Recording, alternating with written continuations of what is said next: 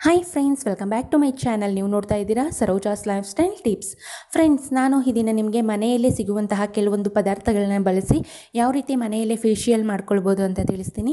ಇದು ಎಲ್ಲ skin type ಅವರು ಆರಾಮಾಗಿ ಯೂಸ್ ಮಾಡ್ಬೋದು. ಯಾವುದೇ ರೀತಿ ಸೈಡ್ ಎಫೆಕ್ಟ್ ಅನ್ನೋದು ಆಗೋದಿಲ್ಲ.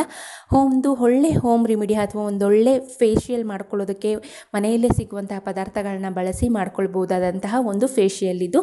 ತುಂಬಾ ಉಪಯೋಗ ಆಗುತ್ತೆ. ಈ ಒಂದು ಫೇಶಿಯಲ್ನ ನೀವು ಮಾಡ್ಕೊಳ್ಳೋದ್ರಿಂದ ಇನ್ಸ್ಟೆಂಟಾಗಿ ನಿಮ್ಮ ಫೇಸ್ ಅನ್ನೋದು ವೈಟ್ನಿಂಗ್ ಆಗಿರುತ್ತೆ ಗ್ಲೋಯಿಂಗ್ ಆಗಿರುತ್ತೆ, ನಂತರ ಬ್ರೈಟ್ನಿಂಗ್ ಆಗಿ ಹೊಳಿತಾ ಇರುತ್ತೆ.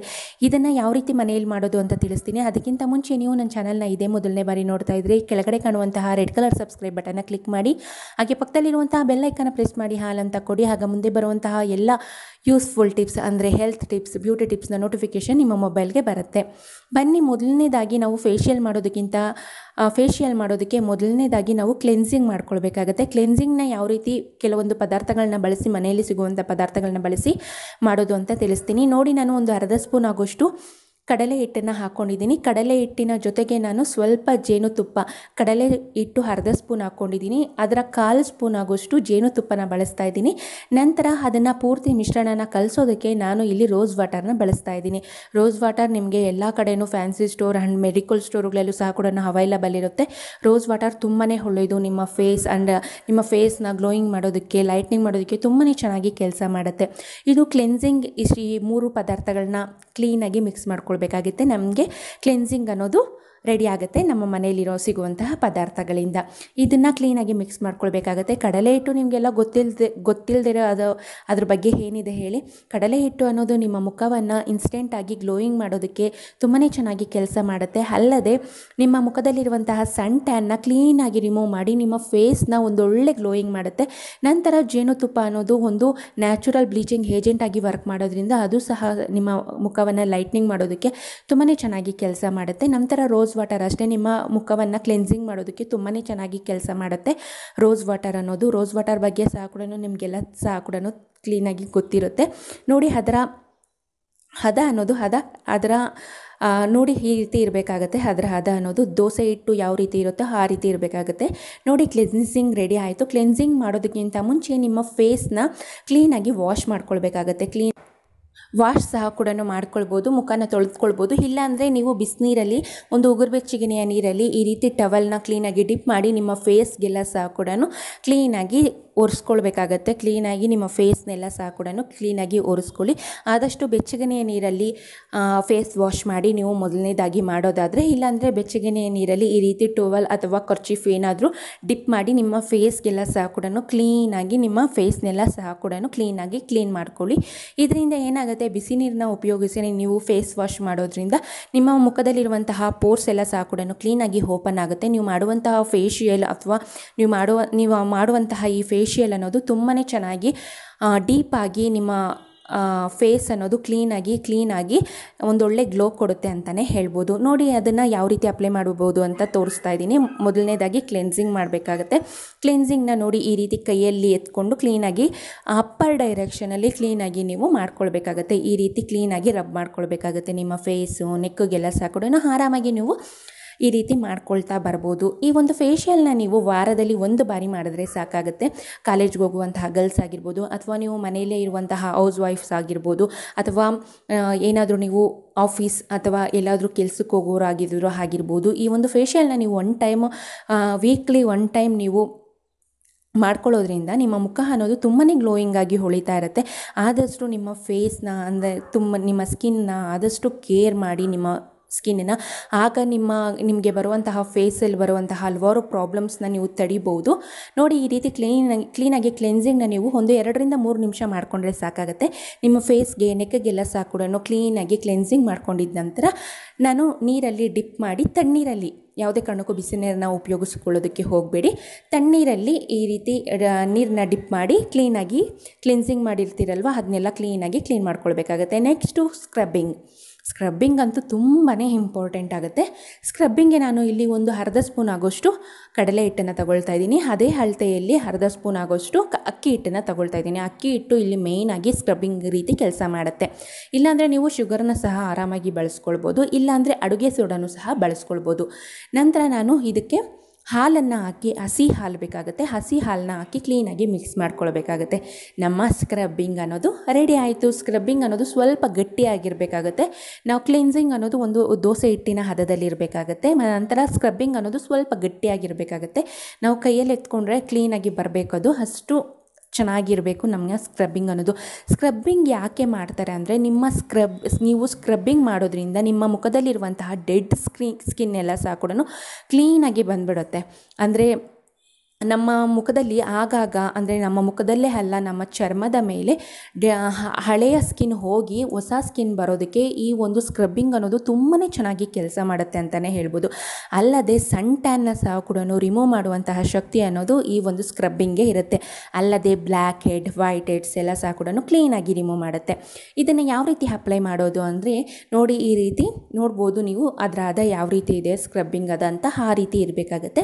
ನೋಡಿ ಈ ರೀತಿ ನೋಸ್ ಮೇಲೆ ನಾನು ಇಲ್ಲಿ ಯಾವ ರೀತಿ ಮಾಡ್ತಾ ಇದ್ದೀನೋ ಅದೇ ರೀತಿ ಇರಬೇಕಾಗುತ್ತೆ. ನೋಸ್ ಮೇಲೆ ಸಾಕೊಳ್ಳೋ ಮಾಡ್ಕೊಳ್ಬೇಕಾಗತ್ತೆ.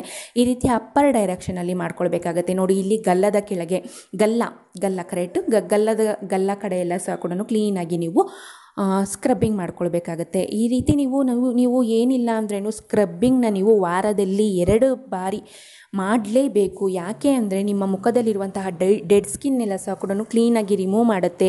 ವೈಟ್ ಹೆಡ್ ಬ್ಲ್ಯಾಕ್ ಹೆಡ್ ಸಮಸ್ಯೆ ಅನ್ನೋದು ನಿಮ್ಮ ಮುಖದಲ್ಲಿ ಕಾಡ್ತಾ ಇದ್ದರೆ ಅದನ್ನು ಸಹ ಕೂಡ ಕ್ಲೀನಾಗಿ ರಿಮೂವ್ ಮಾಡುತ್ತೆ. ಅಲ್ಲದೆ ಸನ್ ಟ್ಯಾನ್ನ ಕ್ಲೀನಾಗಿ ರಿಮೂವ್ ಮಾಡಿ ನಿಮ್ಮ ಮುಖಕ್ಕೆ ಒಂದೊಳ್ಳೆ ಕಾಂತಿನ ನೀಡುತ್ತೆ. ಆದಷ್ಟು ನೀವು ನ್ಯಾಚುರಲಾಗಿ ಸಿಗುವಂತಹ ಅಕ್ಕಿ ಹಿಟ್ಟಾಗಿರ್ಬೋದು, ಸಕ್ಕರೆ ಆಗಿರ್ಬೋದು ಅಥವಾ ಅಡುಗೆ ಸೋಡಾ ಆಗಿರ್ಬೋದು, ಇದನ್ನು ಬಳಸಿ ನೀವು ವಾರದಲ್ಲಿ ಕಂಪಲ್ಸರಿ ಎರಡು ಬಾರಿ ಮಾಡಬೇಕಾಗತ್ತೆ. ಇಲ್ಲ ನಿಮಗೆ ಟೈಮ್ ಸಿಗಲಿಲ್ಲ ಅಂದರೆ ಇನ್ನೂ ಟೈಮ್ ಇದೆ ಅನ್ನೋದಾದರೆ ಟೈಮ್ ಇಲ್ಲ ಅಂದರೆ ಎರಡು ಬಾರಿ ಮಾಡಿ ಸ್ಕ್ರಬ್ಬಿಂಗ್ ವಾರದಲ್ಲಿ. ಇಲ್ಲ ಟೈಮ್ ಇದೆ ನೀವು ಮಾಡ್ಕೊಳ್ಬೋದು ಅಂದರೆ ಫೇಸ್ ವಾಶ್ಗಿಂತ ಮುಂಚೆ ನೀವು ಸ್ಕ್ರಬ್ಬಿಂಗ್ನ ದಿನ ಬಿಟ್ಟು ದಿನ ಮಾಡಿದ್ರು ತುಂಬಾ ಒಳ್ಳೆಯದು ಆಗ ಸಹ ಕೂಡ ನಿಮ್ಮ ಸ್ಕಿನ್ ಒಂದು ಒಳ್ಳೆ ಗ್ಲೋಯಿಂಗ್ ಅನ್ನೋದು ಕೊಡುತ್ತೆ. ನೋಡಿ ನಂತರ ನಾನು ಸ್ಕ್ರಬ್ಬಿಂಗ್ ಆಯಿತು. ಸ್ಕ್ರಬ್ಬಿಂಗ್ ಮಾಡಿ ಕ್ಲೀನಾಗಿ ಫೇಸ್ನ ನೀವು ಫೇಸ್ನ ವಾಶ್ ಮಾಡ್ಕೊಳ್ಬೋದು ಆರಾಮಾಗಿ.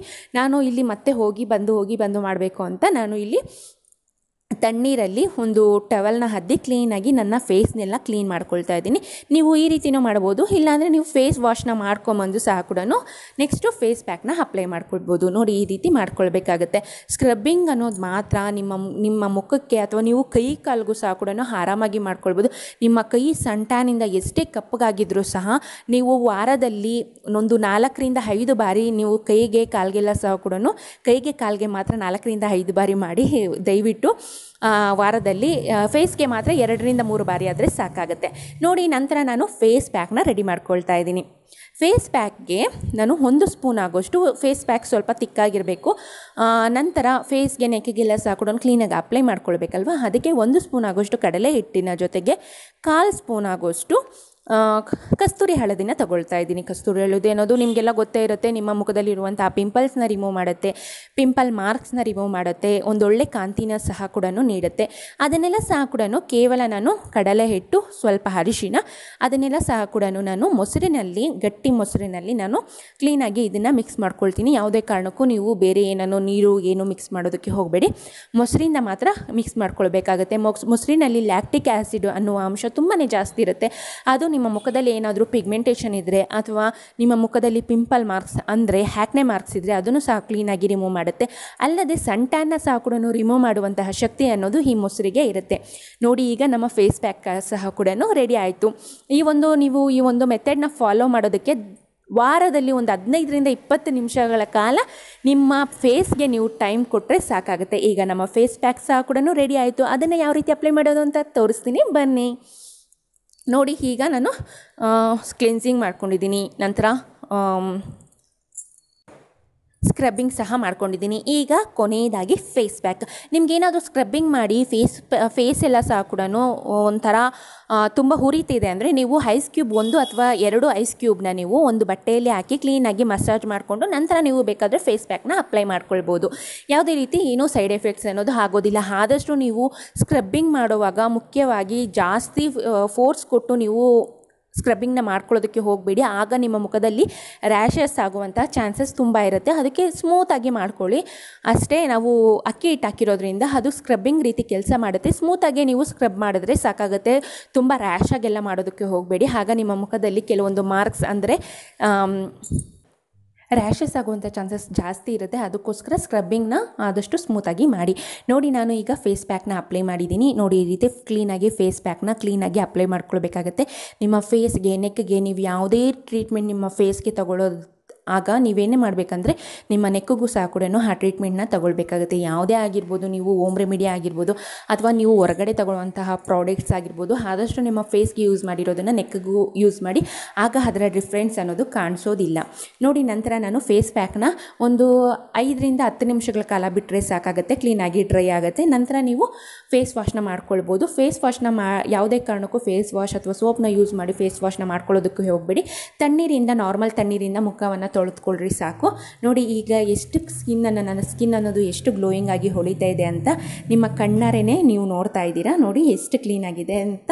ನನ್ನ ಮೂಗೊಳಗಡೆ ನಾನು ಕ್ಲಿನ್ಸಿಂಗ್ ಮಾಡಬೇಕಾದ್ರೆ ನನ್ನ ಮೂಗೊಳಗಡೆ ಸ್ವಲ್ಪ ಅದ ಇಟ್ಟು ಅನ್ನೋದು ಹೋಗ್ಬಿಟ್ಟಿದೆ. ಬಟ್ ನನಗೆ ಅದು ಗೊತ್ತೇ ಆಗಲಿಲ್ಲ. ಪೂರ್ತಿ ವಿಡಿಯೋ ಮಾಡೋವರೆಗೂ ಸಹ ಕೂಡ ನನಗೆ ಗೊತ್ತಾಗಲಿಲ್ಲ. ಎಡಿಟಿಂಗ್ ಮಾಡೋವಾಗ ಮಾತ್ರ ಗೊತ್ತಾಗಿದ್ದು. ದಯವಿಟ್ಟು ಕ್ಷಮಿಸಿ, ಅದು ಕ್ಲಿನ್ಸಿಂಗ್ ಮಾಡುವಾಗ ಆ ಇಟ್ಟು ಅನ್ನೋದು ಮೂಗೊಳಗಡೆ ಹೋಗಿದೆ, ಇನ್ನೇನು ಅಲ್ಲ. ಇನ್ನು ಏನಾದರೂ ಡೌಟ್ಸ್ ಅನ್ನೋದಿದೆ ದಯವಿಟ್ಟು ಕಮೆಂಟ್ ಮಾಡಿ. ನೀವು ಈ ಒಂದು ಫೇಸ್ ಪ್ಯಾಕ್ನ ದಯವಿಟ್ಟು ವಾರದಲ್ಲಿ ಒಮ್ಮೆ ಆದರೂ ಮಾಡ್ಕೊಳ್ಳೇಬೇಕು ನೀವು. ಆಗ ನಿಮ್ಮ ಸ್ಕಿನ್ ಅನ್ನೋದು ತುಂಬಾ ಚೆನ್ನಾಗಿ ಗ್ಲೋಯಿಂಗ್ ಆಗಿ ಹೊಳಿತಾ ಇರುತ್ತೆ. ಆಲ್ ಸ್ಕಿನ್ ಟೈಪ್ ಅವರು ಆರಾಮಾಗಿ ಯೂಸ್ ಮಾಡ್ಬೋದು. ಇನ್ನು ಡೌಟ್ಸ್ ಇದೆ, ದಯವಿಟ್ಟು ಕಮೆಂಟ್ ಮಾಡಿ. ಈ ಒಂದು ಮಾಹಿತಿ ಇಷ್ಟ ಆದಲ್ಲಿ ಪ್ಲೀಸ್ ಲೈಕ್ ಬಟನ್ನ ಕ್ಲಿಕ್ ಮಾಡಿ. ಆದಷ್ಟು ನಿಮ್ಮ ಫ್ಯಾಮಿಲಿ ಮೆಂಬರ್ಸ್ ಫ್ರೆಂಡ್ಸ್ಗೆ ಶೇರ್ ಮಾಡಿ. ವಿಡಿಯೋ ನೋಡಿದ್ದಕ್ಕೆ ಧನ್ಯವಾದಗಳು. ಮುಂದಿನ ವಿಡಿಯೋ